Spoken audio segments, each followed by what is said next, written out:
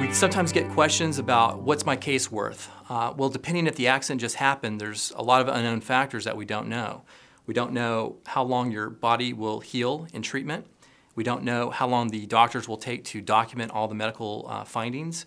And also, at that point, we'll be in a better position to know when the medical findings can then be uh, put together into a demand package in order to be presented to the insurance company. When all those factors are known, uh, generally takes uh, a reasonable amount of time for the insurance company to review the findings in order to present any type of settlement offer if they're in that position to do so. You can find more information about how long my case will take on my website at BlaneLaw.com.